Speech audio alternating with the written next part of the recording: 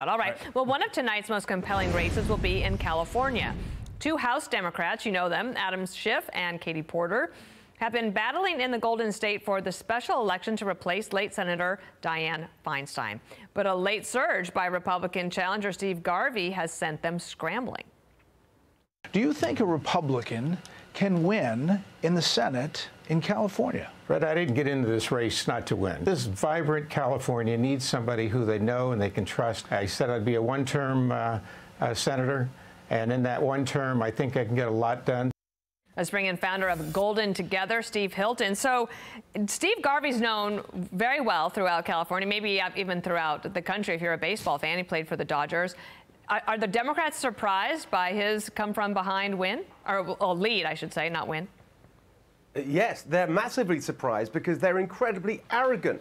They assume, Dana, that California is just a total Democratic one party state. Republicans have got no chance. That was their attitude when Steve Garvey got in the race. And the assumption among the California political press and all the Democrats as well, it's obviously going to be uh, Adam Schiff and Katie Porter. But what it tells you is that this state, my beautiful home state of California, is much more Republican than people think. Now, Steve Garvey's been helped by the fact that we have this top two system, which means that the top two finishers, regardless of party, go through. And because of their arrogance, because they assume that uh, a Republican cannot win, actually, Adam Schiff has been spending enormous amounts of money to try and get Steve Garvey into the general election because he assumes mm. that he's going to have a walkover. So you've been through Golden Together. You've been traveling the state. You've been talking to a lot of people, trying to find some common ground, trying to get the Republican Party at least to say, "Look, you know, we have a chance here." Is Garvey's run a part of that? Oh, very much I've been on the road, um, as you say, and I've been at many events with Steve Garvey.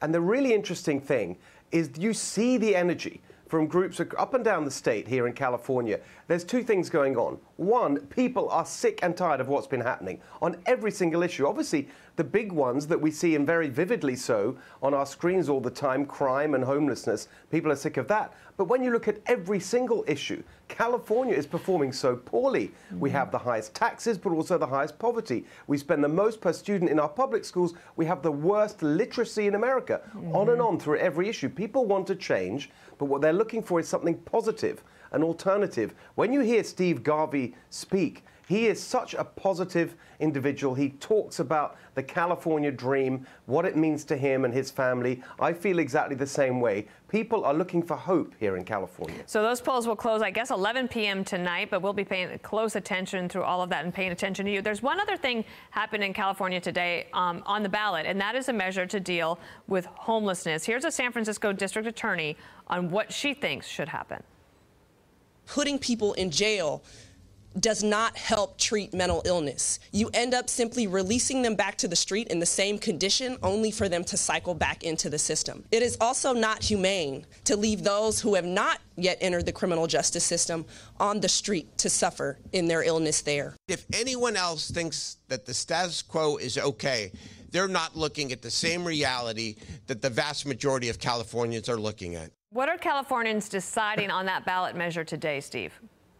Well, first of all, we should say that for years, many of us have been saying that the homelessness crisis in California, we have a third of the, all the homeless people in the country, is really at its heart an untreated mental health and drug addiction crisis. And all along, Democrats were saying, no, no, no, it's all about housing. Of course, it's connected to housing, but the mental health and drug addiction part is a massive feature. Now, this ballot initiative is, in a way, Democrats catching up and saying, yes, we do need to do more on mental health. It's another $6 billion. It'll buy some mental health beds and it'll buy some sheltered uh, housing for uh, homeless people, including homeless veterans. That's the positive aspect of it. But here's what it doesn't do there was a state law passed nearly one decade ago. It's called Housing First.